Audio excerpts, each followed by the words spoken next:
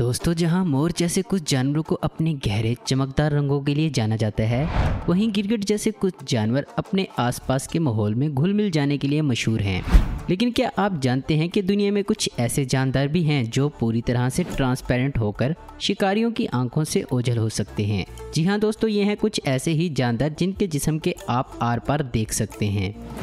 Number one transparent flat fish transparent flat fish समंदर में तैरते हुए किसी ट्रांसपेरेंट रिबन जैसी दिखाई देती है। ये दिखने में मछलियों से ज़्यादातर बहुत अलग होती है और इनकी आँखें, इनकी दोनों आँखें सर के एक तरफ़ मौजूद होती हैं और इनके जिस्म के ट्रांसपेरेंट होने की वजह से ये पलक झपकते ही आँखों से ओझल हो जाती हैं।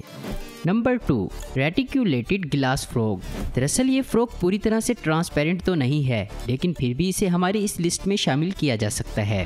गिलास फ्रॉग ज़्यादातर नदियों और झरनों के किनारे, पानी में और दरख्तों और पौधों पर रहते हैं, जहाँ वो आसानी से अपने आसपास के माहौल में घुल मिल जाते हैं, क्योंकि इनका साइज़ ज़्यादा बड़ा नहीं होता।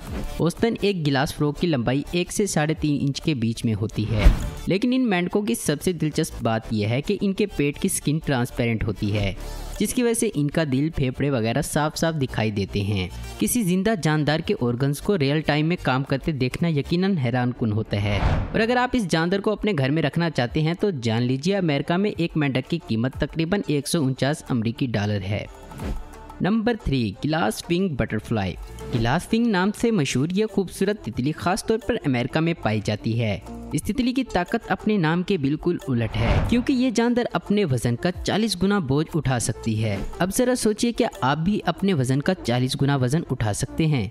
जी नहीं, ऐसा करना हम इंसानों के लिए नामुमकिन है। मज़बूत होने के अलावा ये तितली लंबी दूरी तक उड़ान भी भर सकती है। शिकारियों से बचने के लिए ये तितलियाँ उड़ते वक्त अपने ट्रांसपेरेंट बॉडी का इस्तेमाल करती हैं।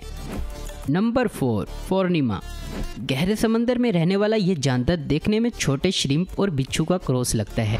ये जानदार ठंड पसंद नहीं करते, इनका पूरा जिसम ट्रांसपेरेंट है। ये तकरीबन दुनिया के हर समंदर में पाया जाता है।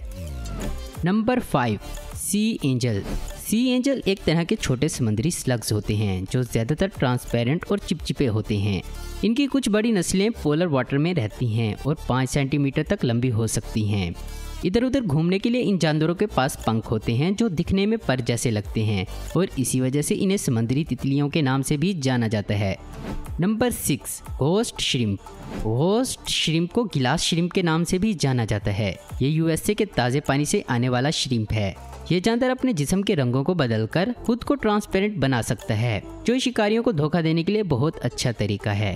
अपनी सफ़ाई की आदतों की वजह से गोस्ट श्रिम्प एक्यूरियम मालकों के बीच बहुत पॉपुलर है। ये छोटे से जानवर बचे हुए खानों को साफ़ करके अपना टाइम स्पेंड करते हैं मतलब कि आप भी अपने एक्वेरियम में इस ट्रांसपेरेंट हाउस कीपर को रख सकते हैं। Number seven, transparent surgeon fish.